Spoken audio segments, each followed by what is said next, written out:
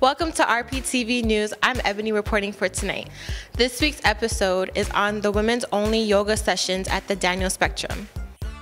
As part of the Daniel Spectrum Summer Series, residents were invited to participate in a free women's only yoga session. RPTV News interviewed a few of the participants, including Surya Ibrahim of Daniel Center for Learning, who was instrumental in putting the women's only yoga program together. I found a lot of um, community members that are very interesting in being an, a part of the yoga. It's female only.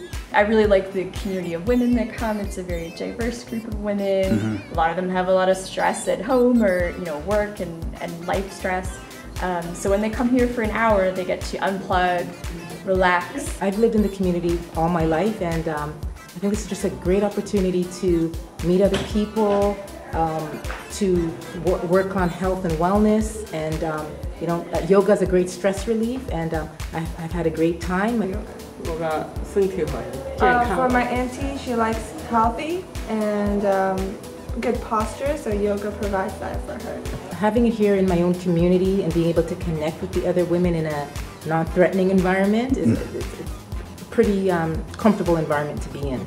They feel so comfortable and uh, some of them wear hijabs, which is where I'm wearing, mm -hmm. and they could take it out and feel comfortable mm -hmm. um, and stretched and have confidence, and at the same time, and uh, being a part of the community. Thank you ladies for being a part of this video.